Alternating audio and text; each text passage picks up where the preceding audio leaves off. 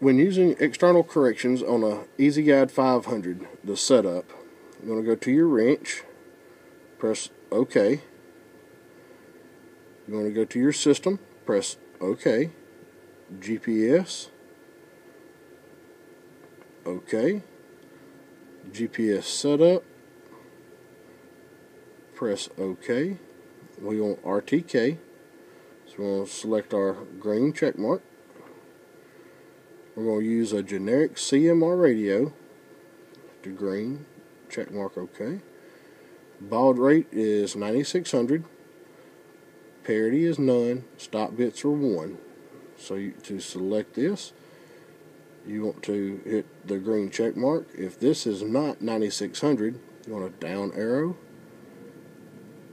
check, and you can select your baud rate. Check mark. Arrow back up continue. Check mark. Now the baud rate and port is set for external corrections